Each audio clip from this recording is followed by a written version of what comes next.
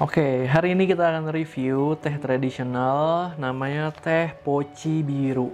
Teh poci ini di komposisinya adalah teh hijau dengan bunga melati.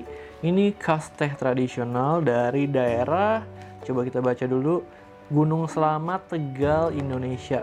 Nah, packagingnya seperti ini ya. Wanginya kalau kalian cium nih khas banget dari wangi teh tradisional. Di sini gue akan menggunakan teko dengan berbahan dasar tanah liat seperti ini karena teh wangi melati seperti ini khususnya dan enaknya dibuat menggunakan teh teko dengan jenis ini. Karena ketika kalian menyeduh dengan teko tanah liat, wangi melatinya akan meresap, wangi tehnya juga akan meresap ke dalam teko tanah liat ini. Sehingga ketika kalian menyeduhnya terus, menyeduhnya terus di teko ini, makin lama rasa tehnya akan makin bukat dan makin pekat dan makin enak banget. Harusnya seperti itu ya. Oke kita buka aja packagingnya. Biasa packaging kertas nih seperti ini packagingnya. Nah, ada gunting. Kita pakai gunting aja. Oke. Oke nih packagingnya seperti ini. Kita lihat ya biasa pasti berantakan ya tuh. Udah keluar keluar ke mana-mana nah daunnya seperti ini ya. Bisa dilihat di kamera yang sana daunnya seperti ini. Ini daun teh hijau dengan ada bunga melatinya juga harusnya di sini. Ada batang-batangnya sedikit kelihatan ya? Ini bisa dilihat. Warnanya masih agak hijau karena memang menggunakan jenis teh hijau ya. Jadi dia tuh nggak disangrai begitu lama sehingga menjadi teh hitam tapi masih teh hijau Oke, tanpa berlama-lama lagi, kita coba. Kita akan masukkan ini ke dalam teko poci ini. Saya taruh aja sekitar 3 sendok makan karena sekitar satu sendok makan itu beratnya 1 gram. Kita akan masukin 3 sendok makan. Dilebihin deh biar wangi. Oke. Ini teh pocinya. Terus kita kasih air panas kita tuangin air panas. Sampai kira-kira 300 atau 400 ml karena biasanya satu poci ini bisa digunakan untuk minum rame-rame ya.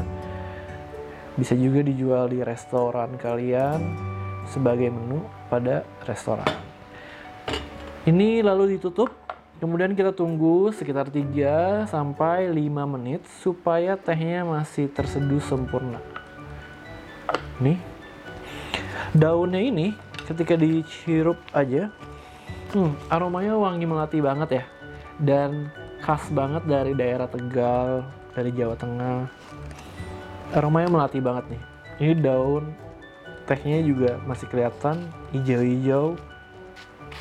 Dan ada memang ada batangnya karena memang ini jenis teh tradisional yang harganya 3.500 sampai 5.000 rupiah per pack ini. Satu pack ini 40 gram ini dia packagingnya bentuknya seperti ini warna biru dari PT Gunung Selamat. Ini dia. Oke sepertinya udah. Coba kita hirup dulu apakah aromanya seperti apa? Oke ini aromanya teh wangi melati tradisional seperti umumnya ya. Warnanya kita coba lihat. Nah karena jenisnya teh hijau warnanya ternyata tidak terlalu gelap ya netes netes ini karena tanya kecil jadi netes netesnya banyak banget loh kita coba lagi